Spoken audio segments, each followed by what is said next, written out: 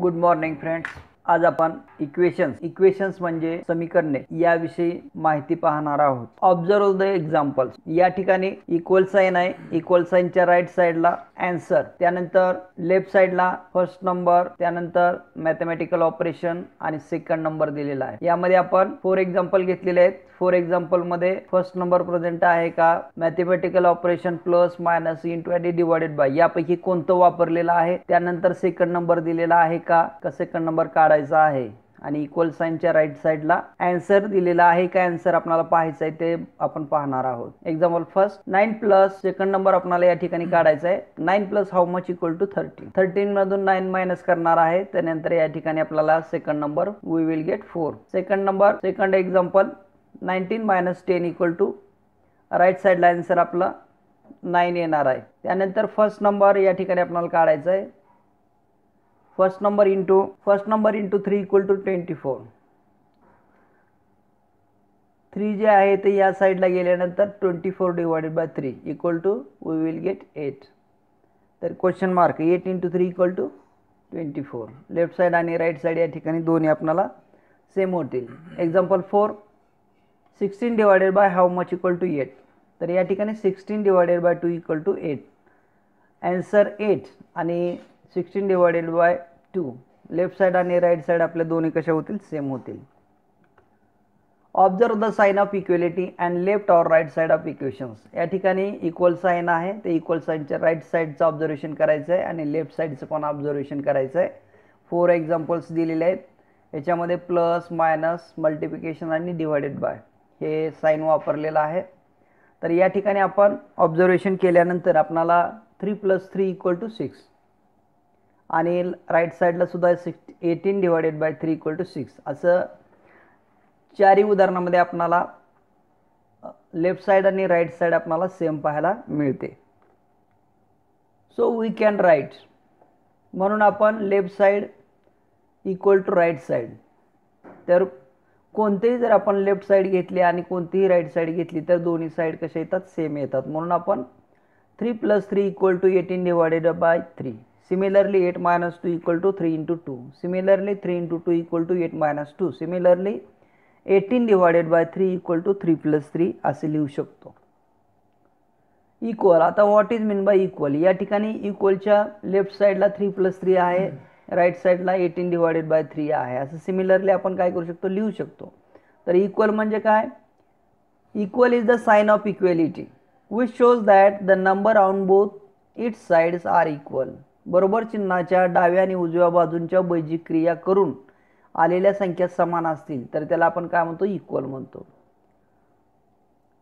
They may be the result of different operations वेगवेगळ्या क्रिया करून लेफ्ट साईड आणि राईट सेप राईट हँड साईड कशा असतात? सेम असतात. इक्वेशन आता इक्वेशन म्हणजे काय? समीकरण म्हणजे काय? Equal is the sign of equality which shows that both the sides are equal जर बरोबर चिन्हाच्या डाव्या आणि उजव्या बाजूला असलेल्या संख्या जर बैजिक क्रिया करून जर समान असतील तर अशा पद्धतीनं दर्शवलेलं जे एक्सप्रेशन आहे त्या expression of equality is called and equation letter letter म्हणजे अक्षर. In and equation a letter is sometimes use in place of a number समीकरणामध्ये लेफ्ट साईडला किंवा राईट साईडला अक्षर वापरलं जातं. त्या अक्षराला आपण काय म्हणतो? लेटर म्हणतो. व्हेरिएबल व्हेरिएबल म्हणजे काय? चल. A value for a let for the letter has to be found that will make the equation balance such a letter is called as variable समीकरणामध्ये चल वापरलं जातं. अक्षर वापरलं जातं. त्या अक्षराला आपण काय म्हणतो? चल असे म्हणतो. A value of the letter has to be found that will make the equation balance समीकरण संतुलित करण्यासाठी जे अक्षर वापरलं जातं त्या अक्षराला आपण काय म्हणतो? व्हेरिएबल असे म्हणतो. एक्झाम्पल फर्स्ट या plus five equal to ten आता या एक्झाम्पलचं जर आपण उद ऑब्झर्वेशन केलं तर या लेफ्ट साईडला आपणाला एम हे व्हेरिएबल यूज केलेलं या ठिकाणी पाहायला मिळतं. Here M is variable M हे अक्षर चल म्हणून वापरलेलं आहे. We use a capital alphabets A to Z आपण या क्रिया करत असताना इक्वेशन सॉल्व करत असताना आपण ए टू झेडपैकी कोणतंही आपण सिम्बॉल वापरू शकतो. आता या चित्रामध्ये जर आपण ऑब्झर्वेशन केलं ए क्वेश्चन ऑफ बॅलन्स तर या ठिकाणी बॅलन्स केलेलं चित्राच्या माध्यमातून तुम्हाला सांगण्याचा प्रयत्न केलेला आहे.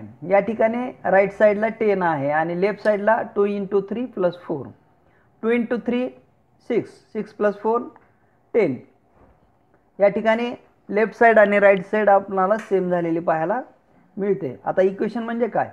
The value of the variable which balance or satisfies the equation is called the equations remember आता या ठिकाणी या ज्या पाच बाबी आहेत त्या महत्वा लक्षात महत्त्वाच्या आहेत त्या लक्षात ठेवायच्या आहेत. ॲन इक्वेशन रिमेन्स बॅलन्स्ड समीकरण संतुलित करण्यासाठी या पाच बाबी आहेत त्या लक्षात ठेवायच्या आहेत. On interchanging both the sides take a variable to left side जर स समीकरणामध्ये किंवा उदाहरणामध्ये जर राईट साईडला व्हेरिएबल दिलेला असेल चल दिलेला असेल तर ते लेफ्ट साईडला घ्यायचं आहे. सेकंड आहे adding the same number to both the side समीकरणाच्या दोन्ही बाजूमध्ये एक समान संख्या मिळवून हा रूल यूज करायचा आहे काही उदाहरणाच्या बाबतीमध्ये.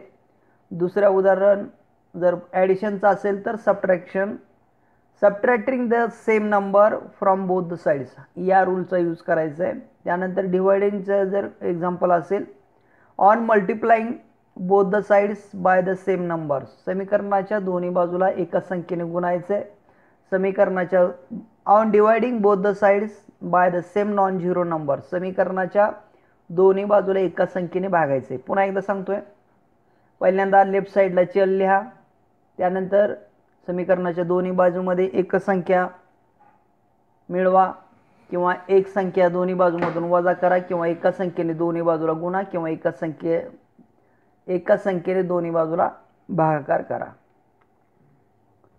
इक्वेशन आता या ठिकाणी आपण समीकरणे पाहणार आहोत. Example first X plus five equal to thirteen या ठिकाणी प्लस फाईव्ह आहे. तर प्लस फाईव्हच्या ठिकाणी आपल्याला झिरो आणायचं आहे. तर समीकरणाच्या दोन्ही बाजून आपल्याला कुठला रूल यूज करावा लागेल? Subtracting the five same number from both the side समीकरणाच्या दोन्ही बाजूमधून आपल्याला पाच काय करावं लागेल? मायनस करावं लागेल. आता X plus five as it is लिहिणे मायनस फाईव्ह लेफ्ट साईडला मायनस केलेला आहे इक्वल टू थर्टीन राईट साईडला मायनस फाईव्ह मायन सबट्रॅक्ट केलेला आहे.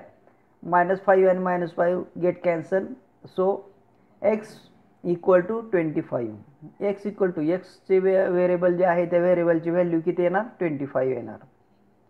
The value of X variable is twenty five example second X minus five equal to thirty adding the same five numbers to both the side समीकरणाच्या दोन्ही बाजूमध्ये पाच मिळवून. X minus five plus five equal to thirty plus five thirty plus five equal to 30 plus 5 equal to 35 therefore minus 5 and plus 5 get cancelled x equal to 35 therefore x equal to 35 x is variable x equal to 35 the value of x variable is 35 example third 5 into m equal to 13 dividing both the sides by the 5 same non zero number शून्य व्यतिरिक्त संख्येने काय करायचं भागायचं आहे five into यममध्ये multiplication process आहे. म्हणून आपण या ठिकाणी डिवायडिंगचा रूल यूज केलेला आहे. या ठिकाणी five into M divided by five equal to thirteen divided by five या ठिकाणी डिवाइडची एक आडवी रेष मारलेली आहे असं आपण समजायचं आहे. Therefore this five and this five get cancel thirty divided by five equal to six therefore M equal to six the value of M variable is six example four M divided by five equal to thirty आता या ठिकाणी M छेद पाच.